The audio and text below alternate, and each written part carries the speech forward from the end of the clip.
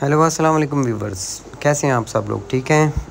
तो मैं आज आपके लिए लेकर आया हूँ 21 कैरेट गोल्ड में ये चार चूड़ियाँ और एक चूड़ी का वज़न तकरीबन 6 ग्राम है और चार चूड़ियों का वज़न तकरीबन 24 ग्राम है।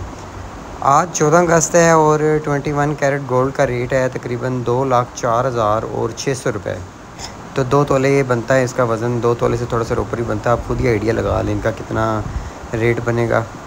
इस तरह की मज़ीद वीडियोज़ के लिए मेरे चैनल को सब्सक्राइब करें। शुक्रिया।